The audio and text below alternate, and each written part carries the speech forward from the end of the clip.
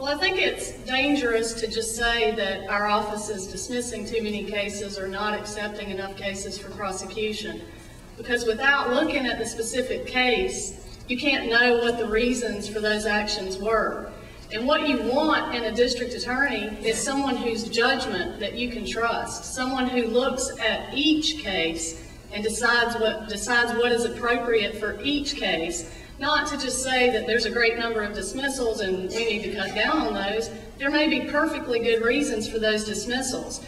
The reasons could be that there wasn't enough evidence, and we're bound by our ethics code to not pursue cases where there's not enough evidence to proceed. So I think it's dangerous to just look at numbers of cases that are being dismissed instead of looking at the specifics. But as a district attorney, I would encourage my assistant district attorneys to use their good judgment, and if there are tough judgment calls, to come to the elected DA, to ask those questions, and to make those decisions on a case-by-case basis. Thank you. Mr. Van Buren?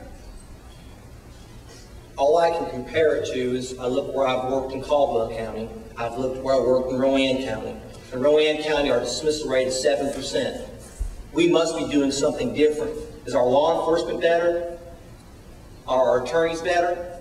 In Rowan County, we accept between 75 and 85% of the felony cases submitted to law enforcement for felony prosecution. Again, is our law enforcement better? Are our attorneys better? There's something wrong. Same in Caldwell County.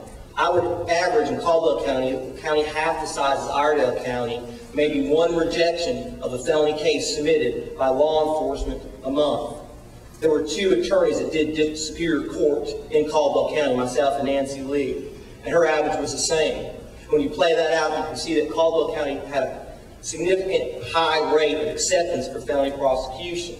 This has to change. If you talk to law enforcement officers, their morale is low. They're low because they think this district attorney's office doesn't care about their cases. It's got to change. These numbers, 35% is too low. That means 65 percent of victims out there are not getting justice. Thank you. Mr. Martin? Thank you. There will be many changes that result as or come about as a result of the split of this district that's been enacted by the legislature effective in January of next year. It has, however, been a central theme of Mr. Van Buren's campaign to dump, jump on the bandwagon of change. It almost appears that Mr. Van Buren's not running against me. He doesn't have my experience. He doesn't have my proven record of success in the courtroom. So he's running against my boss in our office. It's somewhat akin to Hillary and Obama running against President Bush instead of against nominee McCain. Mr. Van Buren talks about our failed administration, as he calls it, and he likes to throw around a few statistics that he has cherry picked. I will tell you that I've spoken to our three chiefs of police, our two sheriffs, our two clerks, various judges and probation officers, and to a person, they disagree with Mr. Van Buren's conclusion that this is a failed administration Ms. Kirkman and I work in at this time. And as for his statistics, they have been cherry picked. There are areas in which we lead the state. I'm not going to discuss those in detail with you tonight for one reason. Justice cannot be reduced to a number. Right and wrong cannot be quantified. It is dangerous to do so. Justice is decided on a case-by-case basis. If your sons and daughters are accused of something, the fact of the matter is we're not perfect. Law enforcement officers are not perfect. Sometimes people are not guilty. You do not want a prosecutor who postures publicly based on statistics and appearances.